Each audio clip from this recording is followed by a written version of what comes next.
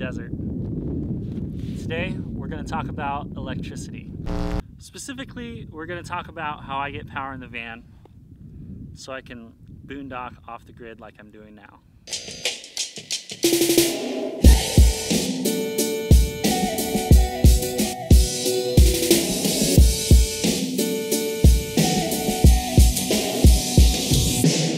Without going into too much detail, I'll show you how I set up my electrical system. But if you need to see something written down, I'll link a guy named Ray Phung. His blog is where I got most everything that I did on my setup. That'll be in the description.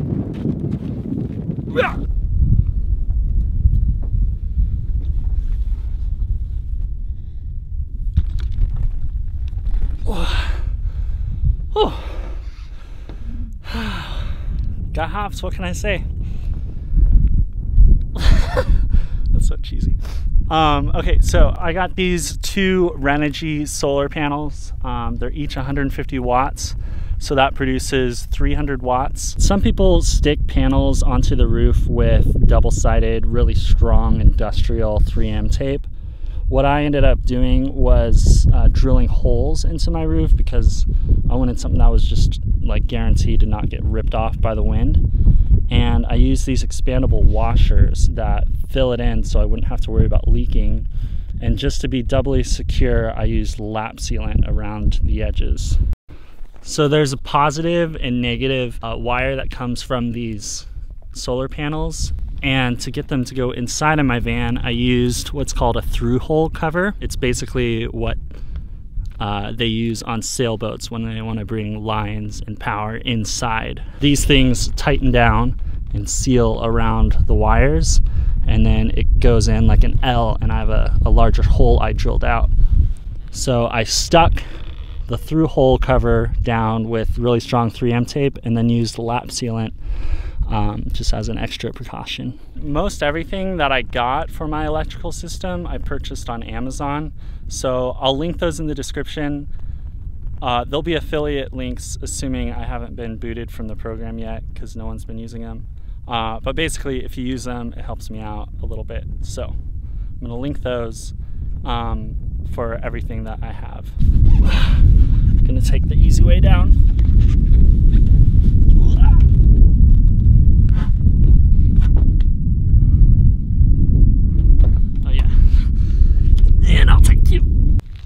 Okay, so my solar panels enter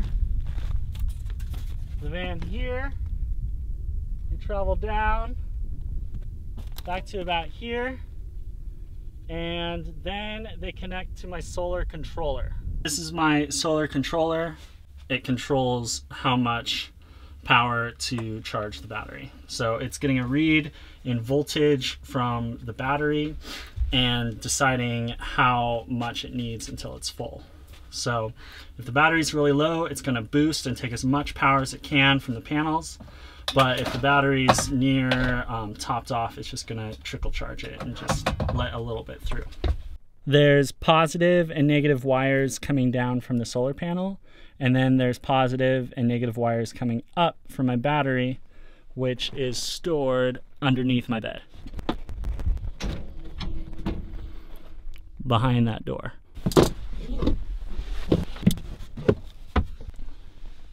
Now I know this looks all sorts of terrifying, but I guarantee there's a method to this madness. Let's break it down.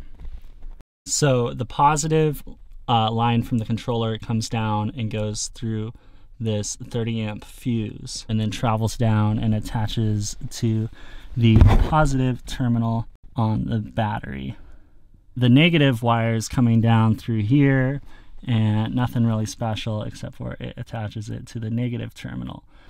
The battery itself is a 200 amp hour AGM battery and it's completely sealed so there's no maintenance. You can mount them uh, basically any way but upside down.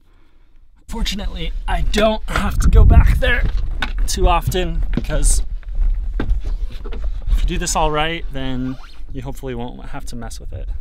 Solar panels are a great way to get power if you're in a sunny place and you're not going to be driving a lot. The other good place for power is from your van itself. More specifically, from your alternator.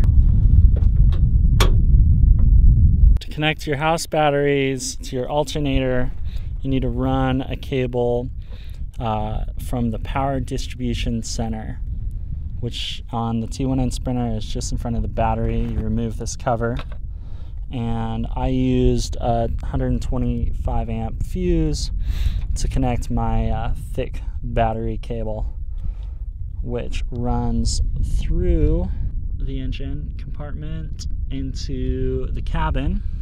It drops down, and I ran it under this floor mat, then back through here.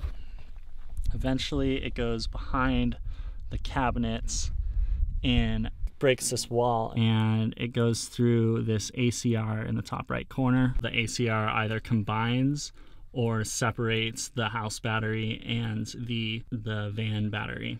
How it does that is it recognizes if the van's above a certain amount of volts, um, then it'll allow it this battery to draw power from the front.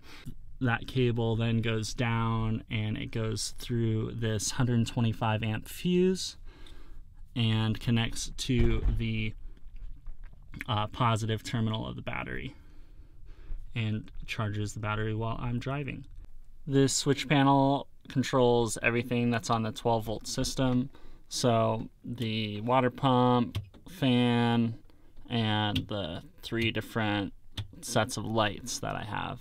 All of the wires travel through a hole in the platform of the bed um, and enter my battery compartment where the negative wires attach to a ground bus bar that is then attached to the frame of the van.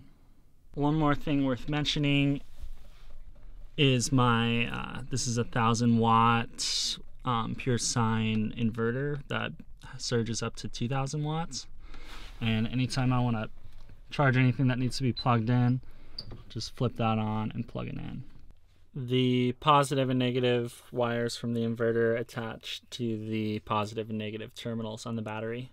The refrigerator is attached directly to the battery with a separate switch that has a built-in fuse.